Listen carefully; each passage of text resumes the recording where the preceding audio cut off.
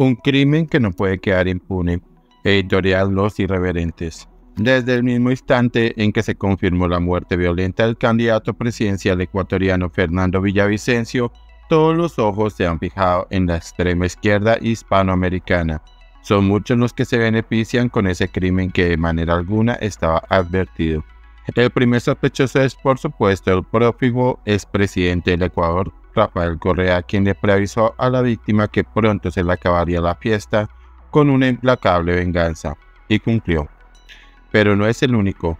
La peligrosa senadora petrista Pia Córdoba, que en su momento fue documentadamente denunciada por Villavicencio, tendrá que responder.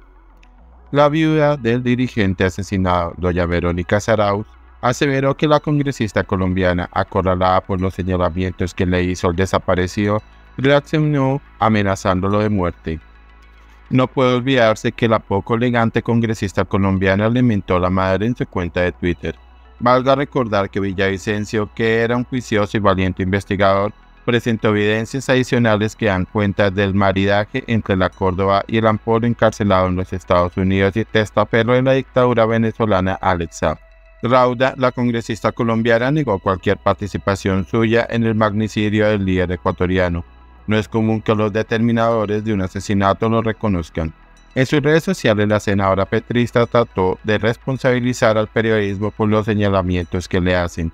En palabras suyas, por motivos que desconozco, sectores de los medios de comunicación han creado una narrativa a la luz de la tragedia de la familia Villavicencio, en la cual me involucran, afectando mi buen nombre.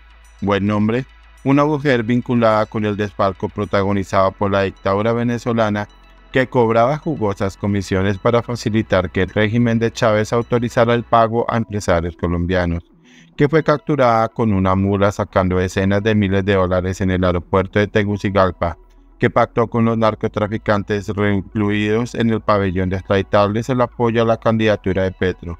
Tiene todo menos buen nombre. Villavicencio efectivamente le resultaba incómodo a muchas personas y estructuras político-criminales, sus denuncias trascendieron a la región.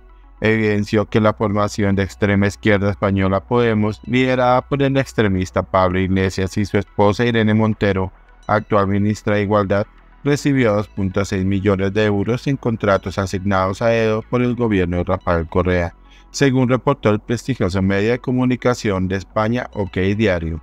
De acuerdo con el reportaje, la Fiscalía ecuatoriana desde diciembre del año pasado, gracias a la denuncia formulada por la desaparecido Villavicencio, inició una investigación por el delito de peculado, teniendo como base el hecho de que el régimen de Correa otorgó ilegalmente contratos a favor de Irene Montero y del diputado pademita Rafael Mayoral.